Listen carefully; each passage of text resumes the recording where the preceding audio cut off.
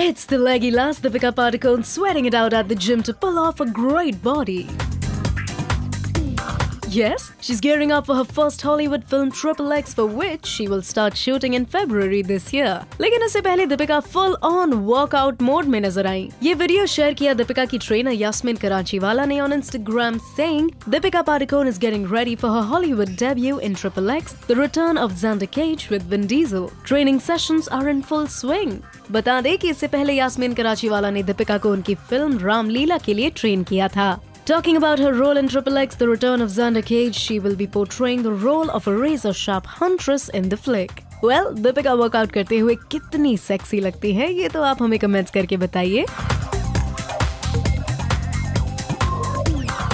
like करें इस video को share it and subscribe to Bollywood now for more such interesting updates